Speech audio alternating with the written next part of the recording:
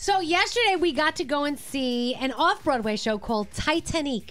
Right? It's the real story of Jack and Rose on the Oh, Titanic. good. I need to see that. It's so amazing. It's at the Daryl Roth Theater. It's so funny. We laugh from start to finish.